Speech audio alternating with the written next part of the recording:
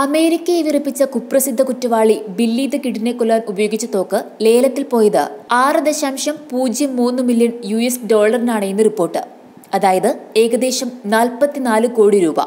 പാറ്റ് ഗാരറ്റിന്റെ ഉടമസ്ഥതയിലുള്ളതാണ് തോക്ക്. തോക്കിന് രണ്ട് മുതൽ മൂന്ന് മില്യൺ യു എസ് ഡോളറായിരുന്നു മൂല്യം കണക്കാക്കിയിരുന്നത്. എന്നാൽ ഇതാണ് ലേലത്തിൽ ആറ് മില്യൺ യു എസ് ഡോളറിന് വിറ്റഴിക്കപ്പെട്ടത്.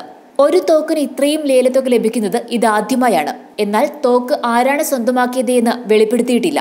തോക്കൻ ഇപ്പോഴും കോട്ടമൊന്നും സംഭവിച്ചിട്ടില്ല. ഉപയോഗിക്കാൻ പറ്റുന്ന തരത്തിലാണ് ഇപ്പോഴും തോക്കുള്ളത് എന്നാണ് പറയപ്പെടുന്നത്. ടെക്സാസ് ആസ്ഥാനമായുള്ള കളക്ടർമാരും കോളേജ് പ്രൊഫസർമാരും ശേഖരിച്ച തോക്കുകൾ കയ്യെഴുത്തു പ്രതികൾ ഫോട്ടോകൾ തുടങ്ങിയവയായിരുന്നു ലേലത്തിലെ മറ്റു പ്രധാന വസ്തുക്കൾ.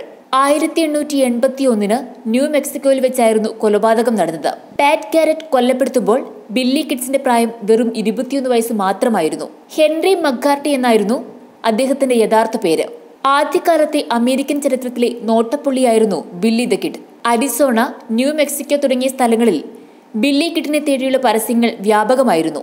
അലക്ക് കമ്പനിയിൽ നിന്ന് വസ്ത്രം മോഷ്ടിച്ചതിനാണ് ബില്ലി കിഡിനെ ആദ്യം പോലീസ് അറസ്റ്റ് ചെയ്യുന്നത്. പിന്നീട് അങ്ങോട്ട് ചുരുങ്ങിയ കാലം കൊണ്ട് അമേരിക്കയെ വിറപ്പിച്ച വില്ലനായി ബില്ലി ദ കിഡ് മാറുകയായിരുന്നു. News desk one India Malayalam.